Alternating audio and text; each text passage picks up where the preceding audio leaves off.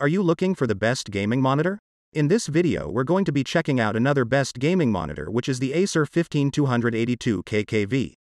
We will compare it against similar and newer gaming displays in terms of image quality, performance, design, and value for the price. If you want more information and updated pricing on the product mentioned, be sure to check the links in the description down below. Okay, so let's get to the video.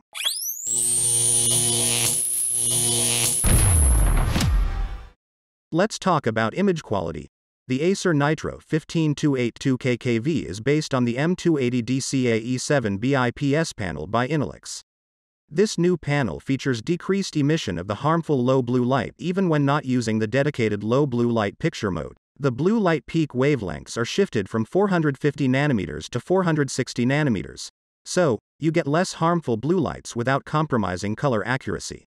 The 15282 KKV, therefore, has the new Eyesafe certification by TÜV Rheinland. Other panel related specifications include the common IPS qualities, such as the 178 degrees wide viewing angles, as well as accurate, consistent, and rich color reproduction with a wide 90% DCI-P3 gamut coverage. The monitor is also factory calibrated and features an sRGB emulation mode with adjustable brightness should you want to restrict its native approximately 120% sRGB gamut to approximately 100%. In fact, there are several color modes available under the color space setting in the OSD on screen display menu, including sRGB, Rec. 709, HDR, DCI, EBU, and SMPTEC. Dithered 10-bit color depth is supported, 8-bit plus 2-bit FRC, for 1.07 billion colors, with 12-bit also being an option over HDMI 2.1 through the use of additional dithering.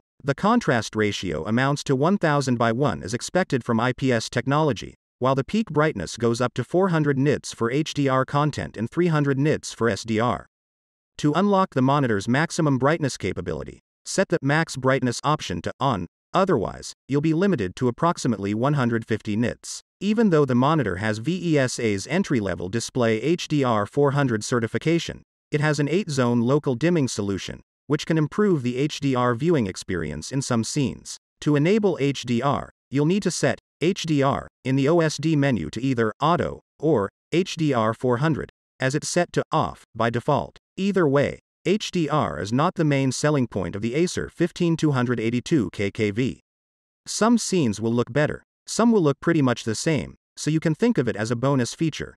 Don't expect a particularly meaningful HDR viewing experience. Let's move on to the performance. The Acer 15282 KKV monitor has low input lag of just approximately 4 milliseconds, so you won't be able to notice or feel any delays. It also boasts a fast 1 millisecond GTG pixel response time speed for no visible trailing behind fast moving objects. There are three response time overdrive modes off, normal, and extreme. The extreme mode has too much inverse ghosting as it pushes the pixels to change too fast, thus causing overshoot whereas the off and normal modes perform the same. At 120 Hz and 144 Hz, there's no noticeable ghosting or overshoot when using either off or normal overdrive mode. However, if you are using a variable refresh rate, VRR, such as AMD's FreeSync Premium, NVIDIA's G-Sync compatible, or HDMI 2.1 VRR, and your frame rate is around 60 FPS, which dynamically changes the refresh rate to 60 Hz to prevent tearing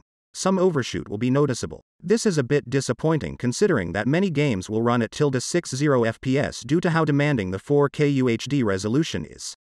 So, at low frame rates, you'll have to choose between getting some inverse ghosting or some screen tearing with VRR disabled. The amount of visible overshoot will vary on the scene and game, but in most cases, it's tolerable or negligible, depending on your sensitivity to it. While the monitor is not officially certified as G-Sync compatible by NVIDIA, VRR works without any issues with both compatible AMD and NVIDIA cards within the supported 48 to 144 Hz range. When using VRR via HDMI 2.1, either with PS5 or compatible NVIDIA GPU, you can actually change the overdrive setting, but since there's no difference between off and normal, it's pointless.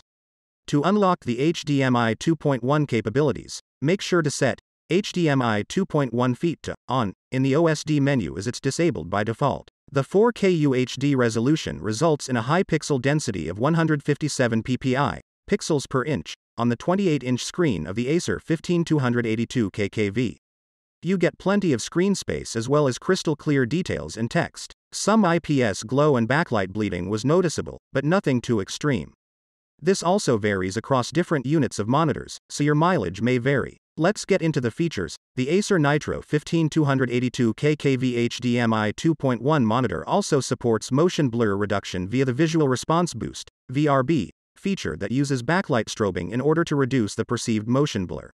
It can only be activated at a fixed 120 Hz or 144 Hz refresh rate, and it reduces the maximum brightness while active. There are two modes, normal and extreme, with different brightness settings.